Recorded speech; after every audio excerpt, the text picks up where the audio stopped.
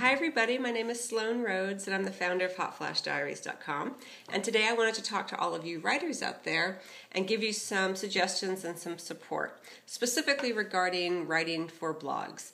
So, when you are writing for a blog, writing a blog, a lot of times you uh, obviously you want to get as many people to read that blog post as possible so there is you know the temptation to write something rather controversial or proclaim yourself an expert on something that maybe you're not necessarily as much of an expert on as you would either like to think you are or maybe that you you know you really aren't at all.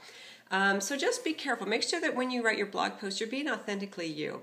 And some of your best blog posts may not be read right away by people. Sometimes it takes time to kind of for something to build momentum. But you want to make sure that you really are being true to who you are. And you're not trying to be overly controversial or um, or you know just writing stuff that doesn't feel like it's really you just to get hits.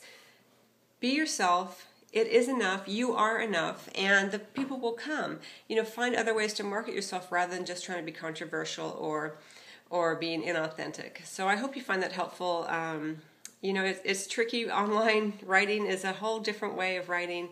And uh, one of the other things that can kind of be problematic with blog posts is that you can lose your voice because you you know once you get some success maybe write a particular kind of piece you think oh you know i'm going to write another one like that. And then you kind of forget who you are and you start to tailor your blog post to your audience which is great but you also want to be true to who you are and you want to you know kind of challenge your readers as well not just you know spoon feed them what they, what you think that they want to to read.